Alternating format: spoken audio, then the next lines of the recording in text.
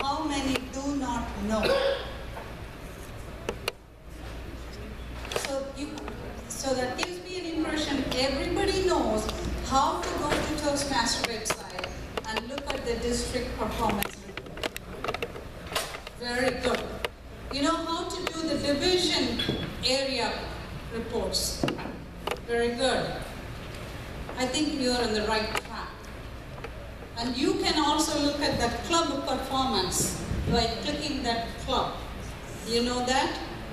So you don't need to really ask the club member officer in order to know how many DCP goals a club has achieved. closing. Because in the past, oh, no, I'm, I'm trying to reach the officer, I don't know how many they got. You have everything right there. So you really do not need to wait for someone from the club to tell you whether they have submitted the club officer list or not.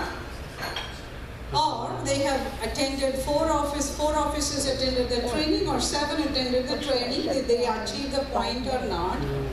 And they, did they renew the, the I really think we should membership stay on as much as time? Have they submitted one CC or two CC? okay. Everything is just black No, and white. So with that assumption, and I'm going to move forward to give you a little Yeah. fun here because I Yeah, know we need it's to be out there been four such information overload that you've been going through that. In the past, I think I've also gone through some of this training. We used to have a little, little fun things.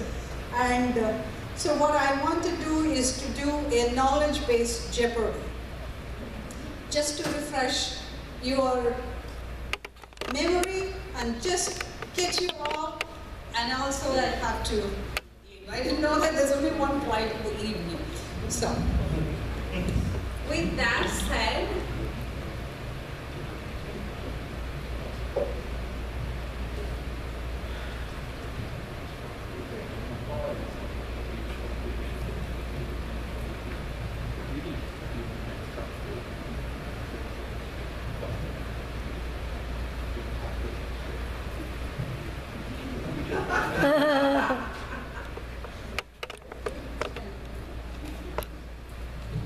Okay, we have nine divisions.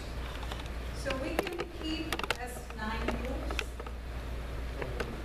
Are you all together? Is that you? Eight?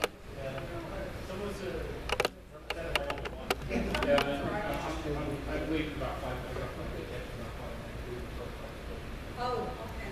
Before fits. Oh, so first, so what I did is A, B, C, D, E, F, G, right, A. So when the question comes up, raise your hand, guy is going to watch, and he's going to count the points. The first, second, third, at least for ten minutes, we can play this game, just to invigorate ourselves. Actually, I could probably shut down. Yeah, shut down. Yeah, just play, just shut down. We got- we got